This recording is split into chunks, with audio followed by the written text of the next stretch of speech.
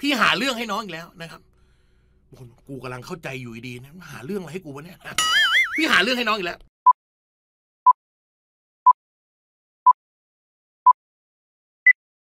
อะขอยัดทวนก่อนนะครับ ขอยัดทวนก่อน ทบทวนโอ้ทบทวนอะไร ทบทวนเรื่องเดิมนะฮะการถอดรูทเนี่ย ขั้นตอนแรกหนึ่งเราต้องทำไงฮะดูสัญลักษณ์ใช่ไหมสัญลักษณ์ ลายมืออะไรวะเนี่ยเอาใหม่สิเหมือนเดิม สัญลักษณ์นะทบทวนนะหนึ่งต้องดูสัญลักษณ์ใช่ไหมสัญลักษณ์เฮ้ยคุณคุณเป็นรากเที่อะไรอะเออเห็นปะต่อไปพอดูไปแล้วว่าสัญลักษณ์อะไร ดูข้อตกลงของมันด้วย ข้อตกลงนะฮะเช่นรากสองสองแรกหนึ่งนะเว้ยรากสามสามแรกหนึ่งนะอ่าข้อตกลงนะครับ รากคู่รากคี่อะไรมาให้หมดเลยนะรากคู่ต้องเป็นบวกเท่านั้นอะไรเงี้ยนะครับนะต่อไปที่สามสูตรคูณ สูตรคูณต้องแม่นนะ อะไรคูณอะไรเออตรงนี้ล่นเวลาได้ ตรงนั้นล่นเวลาได้นิดนึงอะไรเงี้ยนะครับ สูตรคูณเราต้องแม่น นี่คือสิ่งที่เราคุยกันไปทั้งหมดนะครับรายละเอียดยิบย่อยพี่จะไม่พูดถึงนะฮะทุกคนครับ เราสังเกตไหมว่า มันมีความรู้อะไรอย่างหนึ่งที่ มันเกี่ยวข้องกับเรื่องการคูณนะฮะ ความรู้เรื่องนั้นก็คือเรื่องยกกำลังครับ ทุกคนสองคูณสองคือสองกำลังสองสามคูณสามคือสามกำลังสองความรู้ที่มันเขาเรียกว่าไงดี มันเชื่อมโยงหากันนะครับน้องนะ เราไม่รู้ก็ไม่ได้ อย่างเช่น อย่างเช่น เมื่อคราวที่แล้วเราสอนอะไรไปนะเมื่อคราวที่แล้วเราบอกว่ารูทหัวใจสามารถเปลี่ยนเป็นหัวใจยกกำลังหนึ่งส่วนสองได้จำได้ไหมเมื่อคราวที่แล้วนะฮะ รูทหัวใจก็สามารถเปลี่ยนเป็นหัวใจยกกำลังหนึ่งส่วนสองได้นะครับ หมายความว่าเฮ้ยไอเรื่องรูทเนี่ยที่เราติวนไปคราวที่แล้วเนี่ย มันก็พยายามไปยึดโยงกับเรื่องเลขยกกำลัง ซึ่งเอกคณิตศาสตร์เขาจะรู้ดีว่าจริง ๆมันเรื่องเดียวกันนะครับนะเพราะนั้นคุณครูครับ พี่ให้คุณครูไม่รู้ไม่ได้นะครับ พี่พยายามสอนเลยแล้วกันนะครับ คือเรื่องเลขยกกำลังนะฮะเลขยกกำลัง ไม่ต้องจดนะครับ ไม่ต้องจด เพราะว่าหัวข้อเลขยกกำลังเนี่ย เดี๋ยวเรามีติวในเป็นหัวข้อแยกอีกหนึ่งเรื่องนะครับ แต่วันนี้พี่อยากให้น้องรู้จักไว้นะครับว่า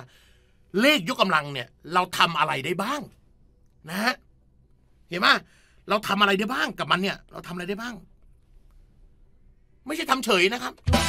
เจอเยอะเจอเลขยกกำลังทำเฉยนะเฉยดีกว่าวะ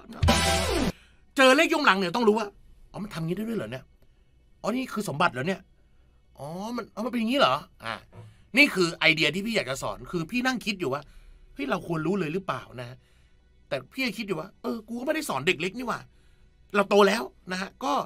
เอารู้เลยก็ได้นะครับ เพราะว่ามันจะเป็นจริง ๆ ครับทุกคนครับนะ เพราะนั้นคุณครูวันนี้เราเข้าใจตรงกันก่อนนะ เราถอดรูทเป็นแล้วนะครับ ถอดรูทเป็นแล้ว พี่กำลังจะพาทุกคนก้าวไปสู่คำว่าเลขยกกำลังว่า มันทำอะไรได้บ้างนะครับนะ แบบไม่ต้องจดนะฮะ ดูว่ามันทำอะไรได้บ้างบางคนบอกยากเปล่าวะหมดคิดในใจนะหนึ่งอะหนึ่งอะไรก็ตามยกกำลังศูนย์คือตอนที่น้องไปอ่านตามหนังสือที่เด็ก ๆเขาเรียนน่ะ มันจะเป็น A เป็น B เป็น C ใช่ไหม A ก็คือตัวเลขอะอะไรก็ตามยกกำลังศูนย์ได้อะไรครับ ทุกคนตอบให้พี่ชื่นใจหน่อยสิพิมพ์มาในช่องแชทหน่อย เนี่ยคือข้อตกลง คือเลขยกกำลังทำอะไรได้บ้าง อะไรก็ตามยกกำลังศูนย์จะมีค่าเท่ากับ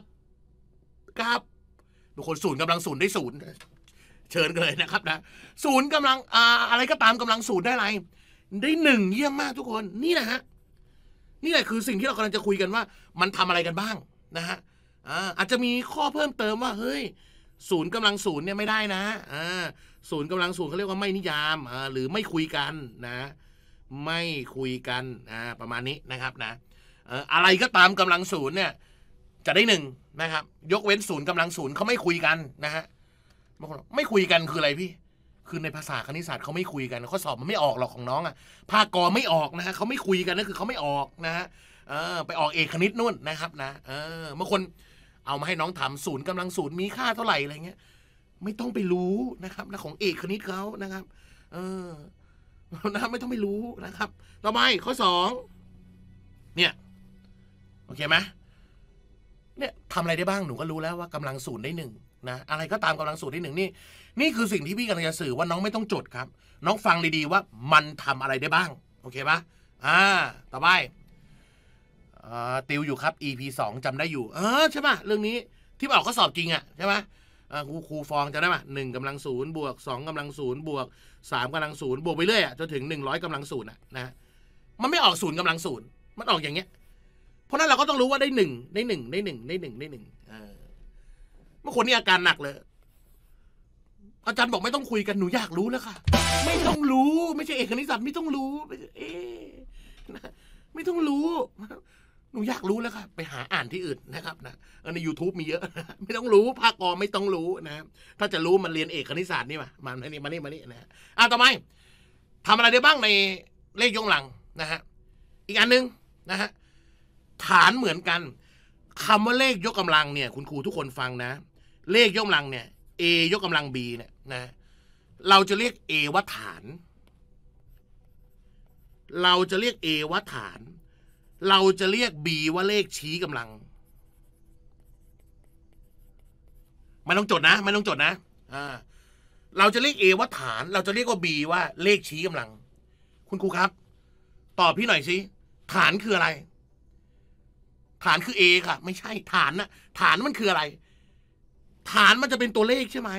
มันจะบ่งบอกว่าอะไรคูณกันใช่ไหม เช่นห้ายกกำลังสามฐานตัวนี้คือห้านะ มันจะหมายความว่าห้าคูณกันนะ เลขชี้กำลังคืออะไร เลขชี้กำลังคือเลขที่อยู่ข้างบน เลขชี้กำลังจะบ่งบอกถึงจำนวนตัวในการคูณกันนะครับ เพราะฉะนั้นห้ากำลังสามคือห้าคูณห้าคูณห้าคือห้าคูณกันสามตัว นะครับ นี่คือความหมายเลขชี้กำลังนะครับ ที่เราพอเห็นภาพนะฮะแต่คำถามคือเลขยกกำลังเนี่ยมันทำอะไรได้บ้างนะครับหนึ่งถ้ามันยกกำลังศูนย์มันจะได้หนึ่งเรารู้แล้วนะครับ ต่อไปที่พี่พูดต่อคือ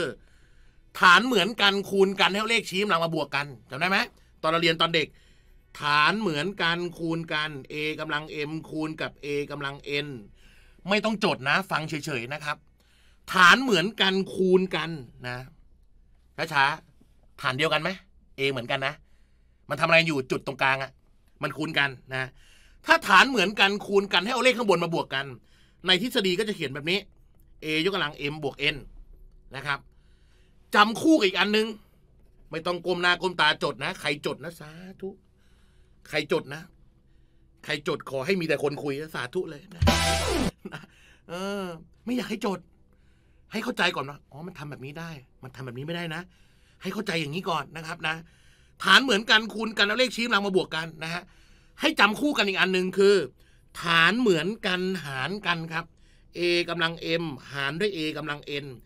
ฐานเหมือนกันหารกันให้เอาเลขชี้กำลังมาลบกันนะฮะอ่าให้เลขชี้กำลังมาลบกันจะได้เป็น a ยกกำลัง m ลบ n สองตัวนี้จำคู่กัน ใครคันไม้คันมือกดแคปเจอร์หน้าจอไว้เข้าใจมันคันไม้คันมือบางทีนะครับนะกดกดแคปเจอร์หน้าจอไว้นะครับนะเออเดี๋ยวไปจดที่หลังนะครับ ฟังพี่อธิบายก่อนนะอ่าจำคู่กัน ตีกรอบตรงนี้จำคู่กันทำไมพี่ พอมันคูณน่ะ ฐานเหมือนกันให้เอาเลขชี้กำลังบวกกันพอมันหารก็ลบกันครับ นะ ปกตินะ พี่ยกตัวอย่างให้ดู พี่ขออภัยนะ ใครเข้าใจแล้วพี่ขออภัยจริง ๆ นะครับ นะ เออ ขออภัยนะครับนะบางคนขออภัยหนูไม่มีคนคุยคนละเรื่องนะ คนละเรื่องนะครับนะขออภัยไม่มีคนคุยว่านะคนละเรื่องนะเอออะอย่างนี้ทุกคน ขออภัยจริงๆ ถ้าทุกคนใครเก่งแล้วเนี่ยขออภัยนะครับ วันนี้อยากให้ทุกคนเห็นภาพว่ามันทำอะไรได้บ้างนะครับ ตัวอย่างครับตัวอย่าง เช่น คูณกันยังไงพี่ ฐานต้องเหมือนกันด้วยนะ ต้องเหมือนกัน เช่นสองกำลังห้าคูณอยู่กับสองกำลังเจ็ดอย่างเงี้ย ทุกคน อาจารย์แล้วทำไมเขาไม่ยกกำลังเลยอะบางทีมันยกไม่ไหว ทุกคนทันไหมบางทีมันยกไม่ไหวนะอะอย่างนี้พี่ยกตัวอย่างง่ายๆอย่างเงี้ย ฐานเหมือนกันนะ คูณกันนะอ่าโอเคไหมก็เอาเลขข้างบนมาบวกกัน ก็จะได้เป็นสองยกกำลังสิบสองคือในกรณีบางครั้งน้องต้องใช้อะนะบางคนอาจจะบอกไม่ไม่เห็นต้องใช้ก็ได้ เออบางทีต้องใช้ใช้ให้เป็นก่อนนะครับนะโอเคไหมอ่าอ่าเนี่ยนะ ประมาณนี้นะ หรือหรือ บางครั้งหนูไปเจออย่างนี้สองกำลัง x คูณกับสองยกกำลัง y อะสองกำลัง x สองยกกำลัง y คูณกัน คูณกัน คิดก่อน ฐานเหมือนกันไหมเหมือนกัน เลขข้างบนอะไรอะบางคนมันเป็น x ค่ะ เรื่องของมันมันจะเป็นอะไรก็เรื่องของมัน เป็น x ใช่ไหม เป็น y ใช่ไหม เอาเลขข้างบนบวกกัน มันก็ได้เป็นสองยกกำลัง x บวก y แค่นั้น นี่คือการเอาไปใช้นะครับว่าอ๋อมันก็ใช้แบบนี้เหรอแค่นั้น มันไม่มีอะไรเลยนะครับนะอ่าถ้าบวกกันเห็นไหมถ้าบวกกัน ถ้าคูณกันเอามาบวกกันถ้าหารกันเอามาลบกันเนี่ยเขียนช็อตโน้ตแค่นี้พอนะครับนะคำถามครับ ทุกคนสองไม่เอาสองดีกว่าห้าดีกว่าห้ามั่งห้ามั่งอาจารย์ทำไมเปลี่ยนเป็นห้าอยากเปลี่ยนครับ ทุกคนครับอยากเปลี่ยนห้าห้ายกกำลังอื x บวกสองได้อะไรทุกคนห้ายกกำลัง x บวกสองได้อะไรอืมห้ายกกำลัง x บวกสองไอ้นี่มันบวกกันอยู่ใช่ป่ะ แล้วมันได้อะไรอะเราเคยแต่เอามาคูณกันแล้วจับเลขข้างบนบวกกันใช่ไหมแต่ตอนนี้เลขข้างบนมันบวกกันอยู่ทุกคน เลขข้างบนมันบวกกันอยู่ทำไง แล้วก็แยกออกมันสิ ก่อนที่เลขข้างบนจะบวกกัน มันก็ต้องเป็นห้ากำลัง x คูณกับห้ากำลังสองใช่ไหมใช่คือที่น้องเห็นที่พี่เขียนแล้วมันใช้กลับไปกลับมาได้นะครับ นะเออก่อนที่เลขข้างบนจะบวกกันนึกถึงสภาพนึกถึง ค่อยๆคิด ก่อนที่เลขข้างบนจะบวกกันนะ มันก็ต้องคูณกันมาก่อนใช่ไหมแล้วฐานมันก็ต้องฐานเดียวกันใช่ไหมอ่า แล้วมันก็ต้องมี x ข้างบนใช่ไหม มีสองข้างบนใช่ไหมนะ เพื่อคิดย้อนกลับมันก็ได้เป็นละฮะ ฐานเหมือนกันคูณกันให้เลขชี้ข้างบนบวกกัน ก็เอา x กับ 2 บวกกันก็ได้เป็น x บวก 2 อยู่ดี คิดย้อนกลับเห็นไหมเพราะฉะนั้น 5 ยกกำลัง x บวก 2 ก็จะได้เป็น 5กำลัง x คูณอยู่กับ 5กำลัง2อะอาจจะเขียนยากไม่เป็นไร ไม่ไม่ไม่ต้องพิมพ์มาก็ได้นะครับนะ แต่ดูให้เข้าใจว่าอ๋อมันมันใช้กลับไปกลับมาได้ เออ มันโอเค มันไปกลับไปกลับมาประมาณนี้ อ่า โอเคไหม นะต่อไปอาจารย์ไม่เห็นมีหารบ้างอะอะหารหารหารเช่น เช่น หารฐานเหมือนกันหารกันเลขชี้กำลังมาลบกันนะครับนะห้ายกกำลัง x หารด้วยห้ากำลัง y ห้ากำลัง x หารด้วยห้ากำลัง y ได้อะไรทุกคน เราก็ดูก่อน อ๋อ มันหารกัน มันหารกัน ฐานเหมือนกันนะ เอาเลขชี้กำลังมาลบกัน เอาบนลบล่าง เพราะนั้นจะได้เป็นห้ายกกำลัง x ลบ y ก็ที่ใช้สมบัติปกติคูณกันจับบวกหารกันจับลบแค่นั้นเองนะ ไม่มีอะไรโอเคไหมเผื่อแป๊บเดียวสามข้อแล้วอะที่เราเรียนตั้งแต่เด็กอะนะครับ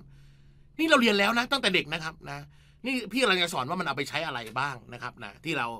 เอออยู่ใกล้ๆตัวเรานะครับ มันนำไปใช้อะไรได้บ้างนะ ต่อไปต่อไปครับ ข้อที่สี่ข้อที่สี่กำลังซ้อนกำลังเอาเลขชี้กำลังมาคูณกัน อย่างนี้ ตัวเดียวๆเลยนะฮะกำลังซ้อนกำลังอย่างนี้ a กำลัง m ซ้อนกำลัง n เห็นไหมอ่า a กำลัง m ซ้อนกำลัง n อย่างนี้เขาเรียกว่ากำลังซ้อนกำลังกำลังซ้อนกำลังให้เอาเลขชี้กำลังมาคูณกันนะครับ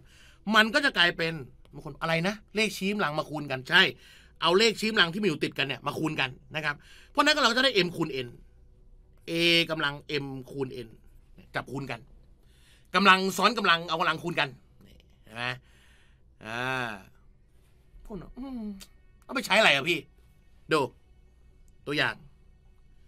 ขอใช้สีชมพูนะ เป็นตัวอย่างนะ เดี๋ยวขีดก่อน เห็นนะ อ่า โอเค ใครโดดเรียนมารวมกันตรงนี้นะครับนะ อ่า ใครเคยโดดเรียนมารวมตรงนี้นะ อะกำลังซ้อนกำลังเอากำลังคูณกัน เช่น ทุกคนห้ายกกำลังสองแล้วมีซ้อนกำลังสามแบบนี้เห็นไหมกำลังสองแล้วซ้อนกำลังสามเนี่ยเขาเรียกว่ากำลังซ้อนกำลัง ให้น้องเอาเลขชี้กำลังมาคูณกัน ก็แค่เอาที่มันซ้อนกันเนี่ยมาคูณกัน ทุกคนก็แค่เอาสองกับสามมาคูณกัน โอเคไหมสองกับสามคูณกันได้หกเพราะนั้นจะได้เป็นห้ายกกำลังหกโอเคปะแค่นั้นเองครับ ที่อยากจะสื่อมีแค่นั้น หรือบางครั้งที่ใช้บ่อยๆนะฮะเช่นห้ายกกำลังหนึ่งส่วนสองซ้อนกำลังสี่อย่างเงี้ยกำลังหนึ่งส่วนสองซ้อนกำลังสี่คุณครูพร้อมกันกำลังซ้อนกำลังเอาเลขชี้กำลังคูณกันเพราะฉะนั้นหนูก็จับตรงนี้คูณกันเนี่ยที่พี่วงเนี่ยคูณกัน อาจารย์แต่มันเป็นเศษส่วนนะเรื่องของมันนะมันจะเป็นอะไรก็เรื่องมันเป็นทศนิยมก็เรื่องของมันนะ จับคูณกันกำลังซ้อนกำลังจับคูณกันนะครับนะเพราะฉะนั้นเราก็จะได้เป็นห้ายกกำลังหนึ่งส่วนสองคูณกับสี่เผอิญหนึ่งส่วนสองกับสี่ตัดกันได้ก็ตัดสองตัดสี่เป็นสองก็จะเหลือเป็นห้ากำลังสองเห็นนะครับ นี่คือการนำไปใช้นะห้ากำลังสองได้อะไรก็ไปยกมานะครับห้าห้ายี่ห้าอะไรก็ว่าไปนะนี่คือการนำสมบัติตรงนี้ไปใช้ นะ ต่อไปอีกอันหนึ่งที่ต้องจำคู่กันนะครับ อีกอันหนึ่งแล้วมันเคยออกข้อสอบมาด้วย ที่ต้องจำคู่กัน อีกอันหนึ่งย้ำนะนี่กำลังเรากำลังคุยกันว่า มันทำอะไรได้บ้างนะ ยกกำลังอะเพราะว่าเดี๋ยวตอนที่น้องไปทำข้อสอบเนี่ยหนูต้องรู้ว่าอ๋อทำแบบนี้ได้เหรอทำมาจะได้แบบนี้แบบนี้แบบนี้ อ่าโอเคนะ ต่อไปจำคู่กันอีกอันหนึ่งครับ อีกอันหนึ่งไม่มีวงเล็บกำลังยกกำลังนะฮะอ่า นี่พิมพ์มาพอดีเลย ถ้ามีเพื่อนพิมพ์มาว่า ถ้ากำลังซ้อนกำลังแล้วไม่มีวงเล็บละครับอ่านี่นะที่เราจะพูดต่อเลยนะครับ อีกอันหนึ่งไม่มีวงเล็บเลย ยกกำลังซ้อนขึ้นไปเรื่อยๆยังไงอะพี่ อย่างนี้ ไม่มีวงเล็บเลย A กำลัง M แล้วยกกำลัง N พี่ครับมันต่างกันยังไงคะ อันบนมีวงเล็บข้างล่างอันล่างไม่มีวงเล็บนะฮะ แค่นั้นเลย แล้วแล้วคำนวณมันต่างกันไหม มันเขียนต่างกันมันต้องต่างกันอยู่แล้วนะครับ ถ้ามันมีวงเล็บแสดงว่ากำลังซ้อนกำลัง ให้เอาเลขชี้กำลังคูณกัน ถ้ามันมีวงเล็บนะฮะแต่ถ้าไม่มีวงเล็บ มันจะหมายถึงตัวเนี้ยยกกำลังอยู่ด้วยบางคนยังไงพี่ ดู ทุกคนเอาอะไรดีอะห้าแล้วกันห้ายกกำลังสามซ้อนกำลังสองกับ ห้ายกกำลังสามยกกำลังสองเนี่ย ทุกคนคำถามครับแหมอย่าให้พิมพ์มาจังเลยคำถาม อันไหนที่น้องรู้อยู่แล้ว อันไหนที่รู้อยู่แล้ว ถ้าอะไรก็ตามในคณิตศาสตร์ที่มันมีสองอย่างนะ หนูอย่าเลือกอย่าเลือกจำทั้งสองอย่าง เลือกจำตัวใดตัวหนึ่งที่มันจำง่ายนะครับ แล้วอีกอันหนึ่งก็อ๋อถ้ามันเป็นอย่างนี้มันก็มันอะไรที่มีสองอย่างจำเลือกเลือกเลือกเลือกจำอันเดียวพอ นะครับ อีกอันหนึ่งให้มันเป็นไปตามธรรมชาติของมันนะครับ อย่างอันเนี้ยเรารู้แล้วว่าเราทำตัวนี้เป็นนะครับ แสดงว่าตัวนี้ก็ทำไม่เหมือนตัวนี้แน่โอเคไหมเพราะนั้นตัวซ้ายมือเราทำเป็นกำลังซ้อนกำลังเราทำเป็นกำลังซ้อนกำลังเอาเลขชี้กำลังมาคูณกันเพราะนั้นหนูก็จับสามกับสองคูณกัน ผลลัพธ์มันคือห้ากำลังหกเห็นไหมเราทำอันซ้ายเป็นนะฮะเขียนว่าทุกคนเปลี่ยนสีนี้ก่อน อันนี้สีชมพูดีกว่า เราทำอันซ้ายเป็นนะครับ พออันขวาเราก็ดูถ้าไม่มีวงเล็บทำไงพี่ ถ้าไม่มีวงเล็บก็เปรียบเสมือนไอ้ตัวนี้มันยกกำลังอยู่ด้วย มันจะไม่คูณแล้ว มันจะไม่เอาสามคูณสองแล้วมันยกกำลังอยู่ด้วย ยกยังไงพี่ ก็เปรียบเสมือนว่าเลขสามตัวนี้ยยกกำลังสองอยู่โอเคไหมมันยกเป็นทอดๆไปนะอ่าโอเคไหมมันยกเป็นทอดๆไปนะครับ เพราะฉะนั้นตอนทำหนูต้องทำเนี่ยนะ ต้องทำไล่ลงมานะครับทำไล่ลงมา ตัวเนี้ยสามกำลังสองสามกำลังสองได้เลยครับสามกำลังสองไม่ใช่สามคูณสองแล้วนะสามกำลังสองคือสามคูณสามตัวนี้นะ คือสามคูณสามแล้วสามกำลังสองสามสามเก้าตรงนี้จะได้เป็นห้ากำลังเก้าซึ่งต่างกัน เยี่ยมครับ อันขวาคือห้ากำลังเก้าอ่าเห็นไหมต้องทำจากบนลงล่างนะครับบางคนบอกทำแค่นี้ก่อนได้ไหมไม่ได้ ต้องทำจากบนลงล่างทำตัวนี้ก่อน เดี๋ยวอาจารย์ แล้วถ้ามันมียาวกว่านี้ล่ะ อะ เช่นเอาจอหายไปไหนวะเนี่ย อะ นี่นี่แล้วถ้ามันมียาวกว่านี้ล่ะ เช่น เอ่อห้ากำลังสามกำลังสองอะไรดีอะเดี๋ยวเดี๋ยวเอาเอาเลขที่มันยกได้อะกำลังสองกำลังสามกำลังสองอะเงี้ยเนี่ยอย่างเงี้ยยาวขึ้นไปไม่มีวงเล็บ ไม่มีวงเล็บหนูก็ทำจากบนลงล่างบนลงล่างยังไง บนลงล่างหนูก็ทำแค่นี้ก่อนนี่ทำแค่นี้ก่อนเห็นปะทำสามกำลังสองก่อนสามกำลังสองได้เก้าใช่ไหมตรงนี้ได้เก้าเพราะนั้นมันก็จะกลายเป็นห้ายกกำลังสองและกำลังเก้าอย่างนี้เห็นไหมแล้วหนูก็ทำจากบนลงล่างนะ ตัวนี้สองกำลังเก้าไม่ต้องไปยกนะ พี่ยกให้สองกำลังเก้าได้ห้าร้อยสิบสองเป็นห้ายกกำลังห้าร้อยสิบสองเห็นไหมอ่าตัวนี้ก็ไปยกกำลังมานะครับนะอ่า แต่กรณีนี้ภาคกอไม่เจอหรอกครับนะภาคกอเจอแค่ซ้ายกับขวาตรงนี้นะครับ รู้ว่ามันแตกต่างกันนะครับ แค่นั้นพอเห็นไหมอ่าเห็นนะ นี่คือมันทำอะไรได้บ้างนะครับ ภาษาคณิตศาสตร์เวลาเรียกใช้ว่าเรียกว่าใช้สมบัตินะครับ แต่พี่พูดง่ายๆว่า เลขยกกำลังมันทำอะไรได้บ้าง เราจะได้ทราบนะครับนะอ่าห้าข้อแล้วนะครับนะ ต่อไปข้อที่หกข้อที่หกครับ ข้อหกเดี๋ยวขีดก่อน ข้อหกกับข้อเจ็ดจำคู่กันนะฮะจำคู่กัน ข้อหกข้อเจ็ดจำคู่กันบางคนอะไรจำคู่กัน อะดู A คูณกับ B อยู่ แล้วยกกำลัง n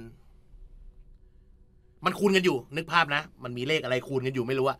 แล้วทั้งหมดมันยกกำลังตัวตัวหนึ่งกำลัง n ชื่อว่ากำลัง n สมมตินะฮะ ถ้ามันคูณกันอยู่เราสามารถแจกแจงเข้าไปได้เลย มันคูณกันอยู่ก็จะกลายเป็น a กำลัง n คูณกับ b กำลัง n บางคนเอาไว้ใช้อะไรพี่ เอาไว้ใช้ทำตอนที่เลขมันยากๆนะครับนะเราสามารถคูณกระจายเข้าไปได้นะฮะแล้วข้อเจ็ดอะถ้ามีคูณก็ต้องมีอะไรครับ นี่จำคู่กัน ถ้ามีคูณก็ต้องมีอะไร ถ้ามีคูณก็ต้องมีหาร ถ้า a มันหารด้วย b อยู่ แล้วมันยกกำลัง n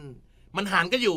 น้องก็สามารถแจกแจงเลขชี้กำลังเข้าไปได้ครับ แจกแจง n เข้าไปได้ ก็กลายเป็น a กำลัง n ส่วนด้วย b กำลัง n นี่เห็นไหมเฮ้ยพี่มันเหมือนไอ้คูณกันฐานเหมือนกันเลขชี้กำลังบวกกันเลยอ่าหารกันฐานเหมือนกันเลขชี้กำลังลบกัน มันก็ใช้แค่คูณกับหารครับ ถ้าคูณกันอยู่แจกแจงได้ ถ้าหารกันอยู่แจกแจงได้นะครับจำแค่นี้ทุกคน ท่านคงปฏิเสธไม่ได้ใช่ไหมครับว่า การบรรยายครั้งนี้นั้นมีประโยชน์ ขอฝากท่านส่งต่อความสำเร็จ โดยการกดแชร์ กดไลค์ กดติดตามคลิปนี้ เพื่อทำให้เป็นการให้ที่ไม่มีที่สิ้นสุด และติดตามอาจารย์แก๊ปได้ในโอกาสต่อไปครับ สวัสดีครับ